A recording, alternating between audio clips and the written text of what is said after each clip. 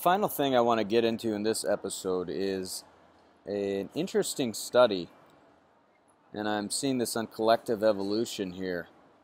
But the study shows what a ketogenic diet did to mice with systemic metastatic cancer. You see the tumor size in mice before and after treatment. So the, the tumor size, and you see ketogenic diet combined with oxygen therapy, it eliminates the tumor. Uh, what is a ketogenic diet? It's a diet that promotes several different health benefits for the human body, benefits that arise when we put ourselves in starvation mode. And it makes sense. It goes on to say uh, years ago, humans didn't have access to food every single day. And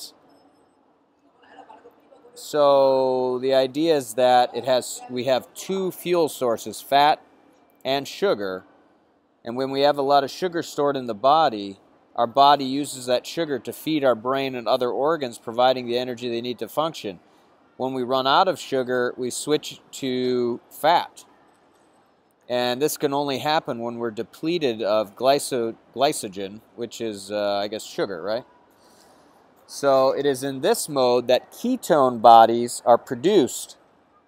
Molecules created by the liver from fatty acids during periods of starvation, fasting, low food intake, uh, and intense exercise, and high fat diets. So today, a ketogenic diet is used to treat cancer, seizure disorders like epilepsy, Alzheimer's disease, Parkinson's disease, and more and it is slowly gaining popularity. I heard about it on Joe Rogan's podcast and with Tim Ferriss, and just sort of gradually over time, but it's it's still a bit obscure. So, yeah, they go on to talk about here Joe Rogan's podcast and Dr. Dom Dia, Diag. Oh my goodness, Diagostino. Diagostino. I don't know how to pronounce that. That the pharma, pharmaceutical industry is very interested in ketosis. So they're working on a pill that mimics the effects of a ketogenic diet instead of encouraging people to do it naturally. You can do it right now. So, Di, Diag, wow, this name is wild. Diagostino, Diagostino and his colleagues published a study titled The Ketogenic Diet and hyperbaric oxygen therapy, prolonged survival in mice with systemic metastatic cancer. It explains that it's already known that the ketogenic diet uh, elevates blood ketones, has been shown to slow cancer progression in both animals and humans. The study also revealed that the ketogenic diet uh, significantly decreased blood glucose, slowed tumor growth, and increased mean survival time by 56.8% in mice with uh, metastatic cancer, systemic metastatic cancer. So, and it goes on to talk about it, but I guess the, the most interesting thing in terms of health and wellness, there's so much that we already know that can, that can work in terms of cancer. Uh, one other thing that came across my desk is the work of uh, a gentleman named Lakovsky, L A K O V. Let's let's actually look this up. Lakovsky. He was treating cancer with simple uh, methods 100 years ago. And so was Dr. Royal Rife. Don't you love autocorrect? I absolutely love it. With the oscillating circuit, right? And he had great success. George Lakovsky, multi-wave oscillators and Rife machines. Um, da da da da da, had a 98% success rate in treating fatal cancers. There's a lot that I think we know. And the ketogenic diet is just another thing I'd like to bring to your attention and the study that came out because there's so much we know, and we just need to get the pharmaceutical industries on board. If we can release ourselves of this money control system, um, we can actually come out with technologies will just explode. And again, eventually, Government will be voluntary because technology will evolve so much that people will be able to do whatever they want, even off planet, going a variety of places. And governments will be voluntary, and, and we won't have to worry about needing to profit and suppress technologies.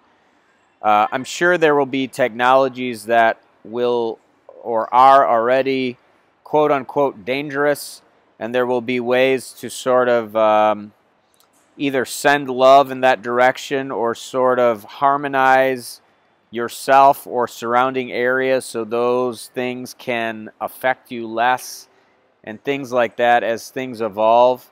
But overall, as we release these technologies and this truth and all these things that already have existed, it's almost like parents who uh, who are worried that they're really um, suppressing a child. They're kind of they're what do they say? They're sheltering a child. Eventually, that child's going to wake up and understand there's so much more in the world. And the more that they suppress the child, a lot of times the crazier that child goes. So people are ready for the truth, and we just need to get everybody on board.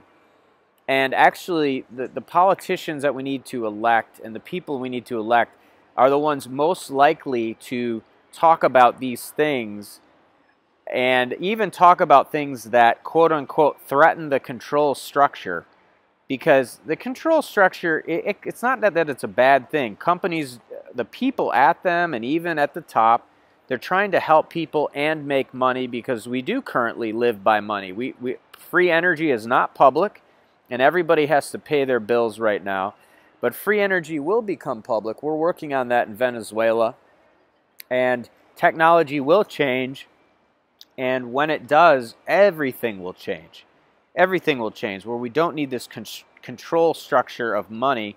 Money can be used to trade and things of that nature. So I want to offer that to you on this episode of Believe. Again, I'm in an airport in China, in Shenzhen, but I wanted to get an episode to you because it's been a while, it's been a week.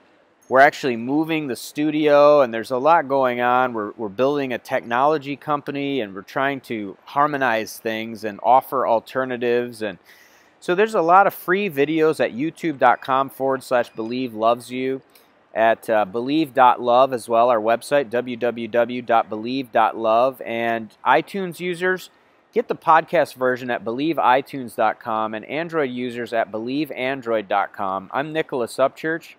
I hope you've enjoyed this episode and found it informative. Leave your comments because they're so valuable and spread the links because you are making a difference. The more you spread the links, the more comments I see, the more resources and money I can sink into this and sort of build. We can build an alternative or a new form of news where we want to cooperate.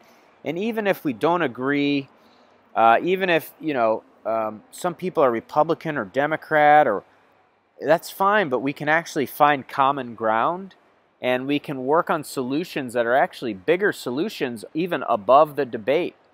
For example, instead of arguing about everybody having health care or no health care, um, how about just focusing on technologies that were being explored 30 years ago, or excuse me, 100 years ago or, or 70 years ago by Dr. Royal Rife and Lakovsky and the ketogenic diet that could solve the problem altogether.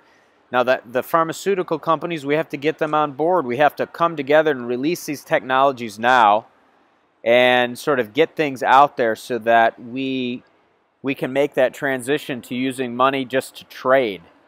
And it will take a it will take a lot. It will take a lot because people people are afraid of this and um, there are probably other uh, influences in our um, in our world or things that maybe we can't even see, interdimensional influences that might not want this to happen. But there are interdimensional influences that do want it to happen that would like us to choose it, I believe. And it's our choice. And so we can love the people that want control just like people that love their parents that are way too over overreaching. But that we can also show them that there might be a different way. And you can see sometimes kids can teach their parents a lot, right? They really can. So much love to you. I hope to talk to you again soon. Leave your comments or email me, believe at believe.love. And we'll get in the studio again. We'll keep making high quality uh, episodes. But I really appreciate you sticking with me while I'm in China and just going through these changes. And there's so many changes going on in the world.